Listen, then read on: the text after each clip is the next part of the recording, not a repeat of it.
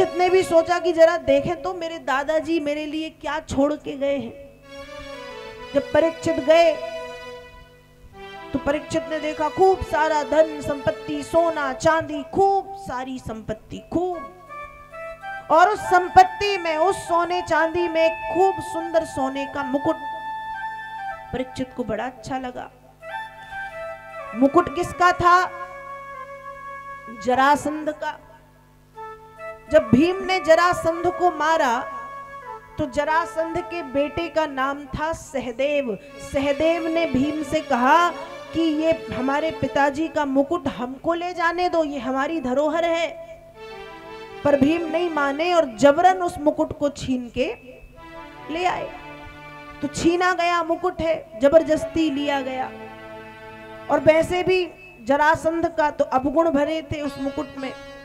और जब वो मुकुट परीक्षित ने अपने सिर पे लगाया तो उस मुकुट के ऊपर कलयुग आकर के बैठ गया।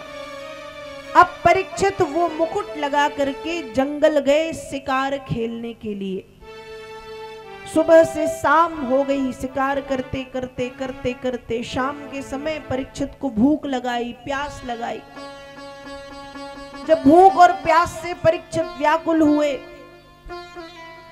परीक्षित ने देखा कि जंगल में ही पास में समीक नाम के ऋषि की कुटिया है, आश्रम है। परीक्षित गए समीक ऋषि के आश्रम में, लेकिन समय है शाम का, और शाम का समय सबके लिए किसी पूजा पाठ का है, कोई ध्यान करता है, कोई पूजा करता है, कोई रामायण पढ़ता है, कोई जाप करता है तो जो समीक ऋषि है वो भी क्या कर रहे हैं? ध्यान, आँखें बंद करके अपने ध्यान में बैठे हैं। अब परीक्षित पहुँचे, परीक्षित ने देखा, अब परीक्षित के सिर पर कौन बैठा है? कलयुग। तो परीक्षित नहीं सोच रहे, पर कलयुग ये सोच रहा है कि अरे, देखो तो ये कैसे ऋषि है? इसको ये भी नहीं लग रहा कि इसके राज्य का राजा आया है, राजा का कोई सम्मान किया जाए, बड़ा आया, ढोंग करने बैठा है। समीक ऋषि को ढोंगी कह करके वहाँ पर एक मरा हुआ तक्षक जाति का सर्प पड़ा था और वो सर्प परीक्षित ने उठाया और उठा करके समीक ऋषि के गले में डाल दिया और परीक्षित वापस आ गए अपने महल में। वापस आए, मुकुट उतारा, मुकुट उतारते ही सब बातें याद आ गई कि मैंने ये क्या कर दिया, मुझसे तो बहुत बड़ी गलती हो गई। प्रायश्चित करने लगे।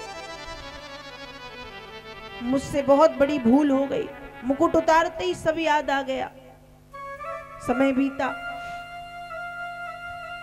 समीक ऋषि के पुत्र श्रृंगी ऋषि पहुँचे जंगल में।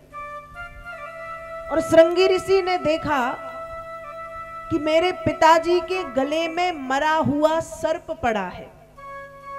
श्रृंगी ऋषि समझ गए कि ये किसी ना किसी ने गलत किया है पिताजी के साथ। तो श्रृंगी ऋषि ने अंजलि में जल लिया और जल लेकर के वहीं से परीक्षित को श्राप दिया। उनको पता नहीं है कि ये परीक्षित ने किया है। उन्होंने तो श्राप दे दिया कि इतिलंघित मर्यादम तक्षका सप्तमे हनी दंश यतस्म कुलांगारम चोदितो में तद्रोहम।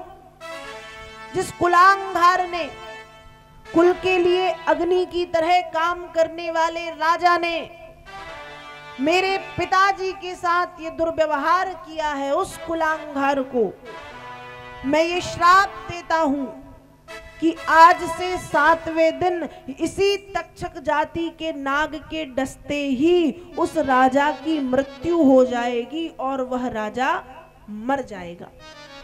श्राप दिया। थोड़ी देर के बाद समीक ऋषि की समाधि जब खुली, उनको पता चला कि मेरे बेटे ने श्राप दे दिया है।